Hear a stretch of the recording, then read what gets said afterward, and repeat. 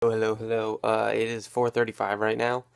Um, I'm trying to film, trying to film a YouTube video, but um, my friend said he was John was coming over, but he said that like three hours ago, and I just want to film, and um, it's gonna be like a collab video with like Drew Molino and possibly my friend Nick.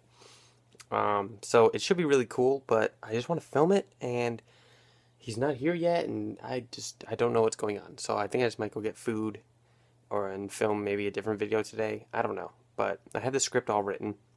So the script's all written, so it's easy to film and editing whatever. So it doesn't have to come out on a certain day. I'll get it, but I just want to film today, so I got to think of something to film. Hey, so it's 11:38 right now. Uh, I'm watching Trailer Park Boys season 9, episode 8. Ordered some Domino's uh, cheesy bread and some sandwich. Played some RuneScape today. Actually, I we beat the Green Dragon.